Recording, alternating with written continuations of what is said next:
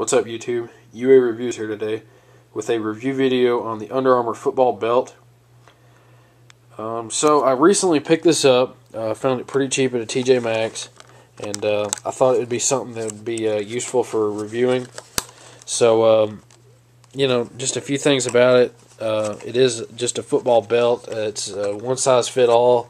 I don't think that they make. I, they, I think they make an adult size and a youth sizes with it. So, um, you know, just starting out, you know, it's, you know, if you didn't like, uh, if you were at your school and you didn't like the belt that you got, and you know, you know, if you happen to find the right color, uh, this would be a good belt to get because um, some of like the basic belts they give you probably in high school, you know, if you're not a really good funded high school, it's probably not to be a very good one. But this one is very good if you needed a replacement or uh, maybe a game day one.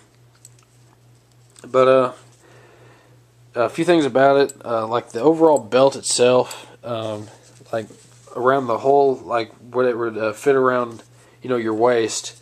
The inside of it is, uh, I'm not for sure if you can see it, but it's uh, it's got little grips, and uh, what it says it does on the back is uh, the grips are uh, for keeping your jersey in, which I think you know that's got to be a, you know just a cool invention because you know Under Armour's pretty smart for coming out with that, and um, you know I had the problem in high school where you had your jersey coming out after one play. You know, you get out there and it's already untucked. So I don't know. I'm not really for sure if this helps it any, or uh, but it does look like it could help because if you get your jersey tucked in there good enough, um, it looks like it stay in there good. And then, uh, you know, um, just the front of the belt is uh, got the Under Armour logo, and then uh, you know how you would uh, strap it up and uh, tighten the belt.